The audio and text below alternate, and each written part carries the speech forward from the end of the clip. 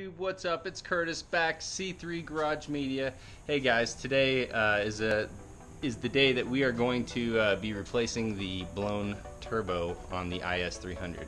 As you guys probably saw in my last video, um, the turbo started leaking some oil and um, burning oil under heavy boost. So uh, we are going to go ahead and uh, get this new turbo we got from CX Racing and uh, begin the process of tearing this apart and get it on.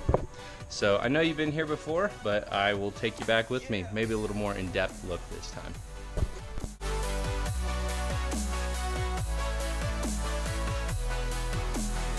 Coolant lines disconnected and out of the way. Put the oil uh, feed line up and out of the way.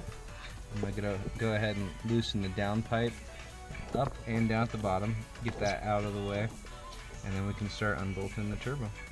Oh, I do also need to uh, loosen that outlet there.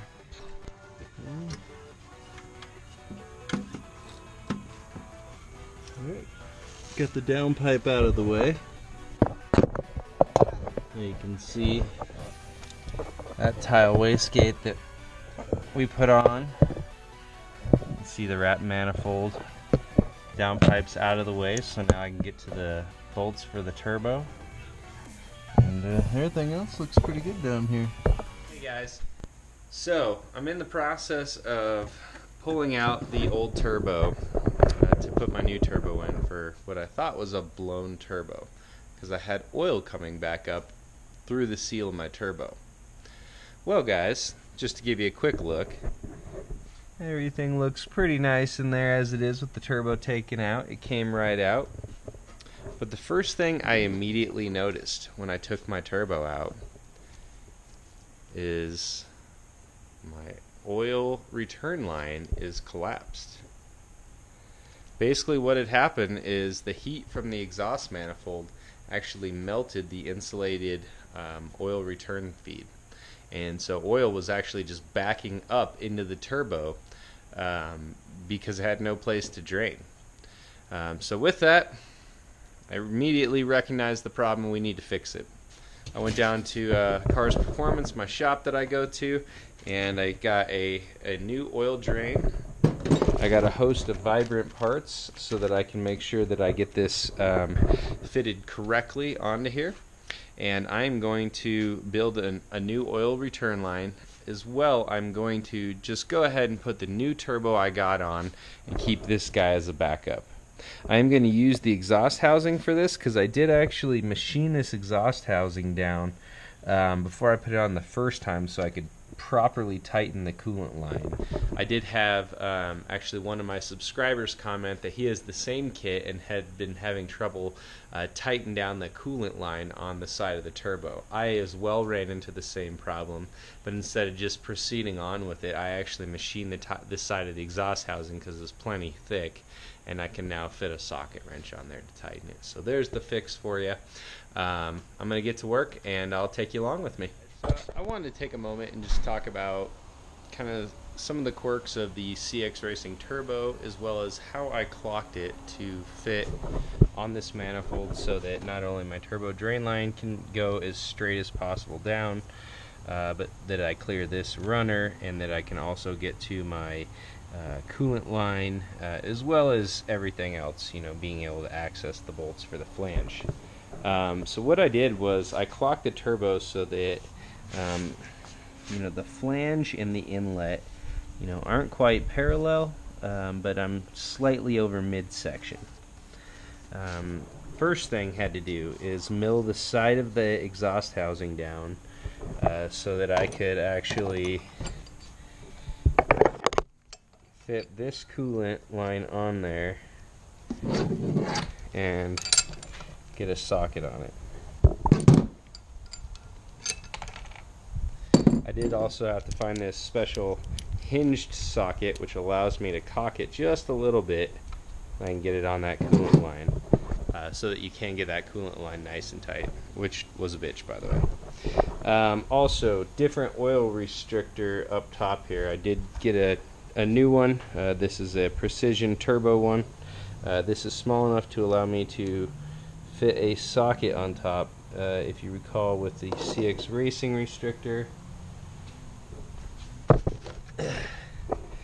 this was so big you could not get a socket around it to properly tighten it for the oil feed line. Uh, next thing, oh, down at the bottom, I did also slightly grind down the flange right there so that I could um, properly tighten the exhaust housing bolt. And that was about it.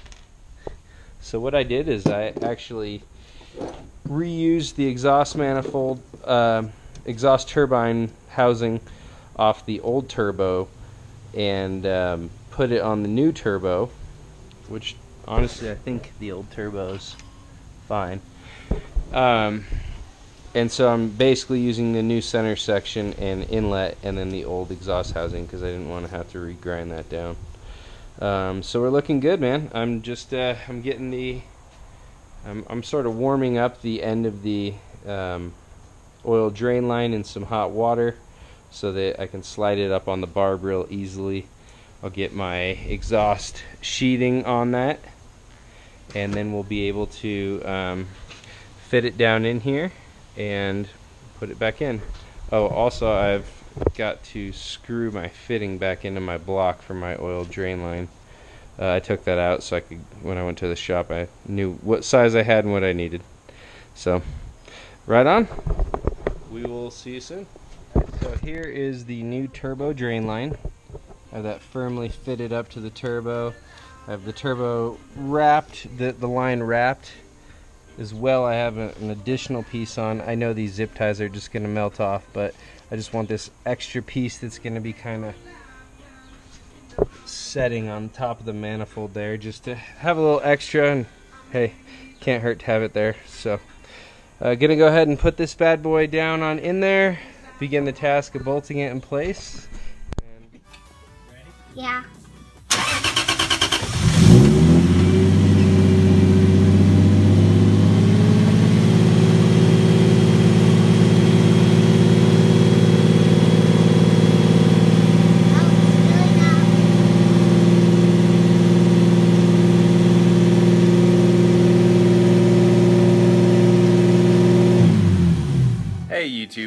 It's Curtis, C3.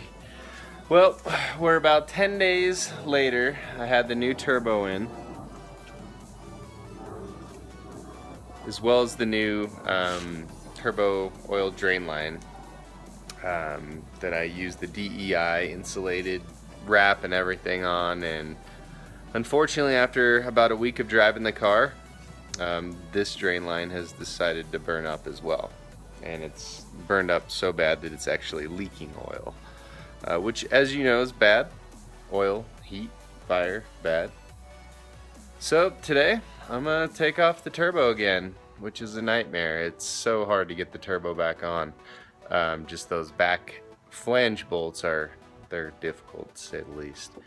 So um, today I'm gonna go ahead and take the turbo off, see if I can't find a different line, and uh, try to get this fixed. I would love to go drifting this weekend. Well, here is turbo drain line number two. I've obviously got a restriction it's getting kinked under the turbo. Cook the line right through again. Off to find a better solution. Alright YouTube, just to end out this video for you, let you know where we're at. So um, after a few days of toiling with this, trying every different way I could to route, and I just got the turbo just sitting up there, to route that drain line in a different manner, I was unable to get it to work. Um, I purchased AN fitting. I purchased a four, uh, 90 degree AN fitting. I purchased a straight AN fitting. Nothing would work. Uh, so getting on the My Lexus IS forums, I, I, was able to contact a guy named um, uh, Brain Brain Brain Tumor, I believe his name is. Uh, real nice guy. Um, he actually um, sent me a link, which I'll show you.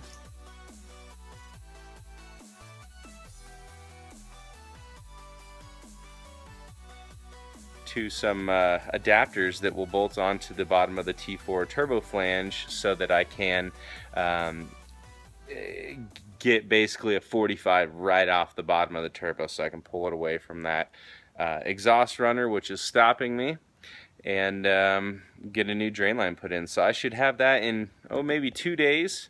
Uh, so YouTube, I appreciate your patience. I wish I could upload more videos, but this has been a process trying to figure it out.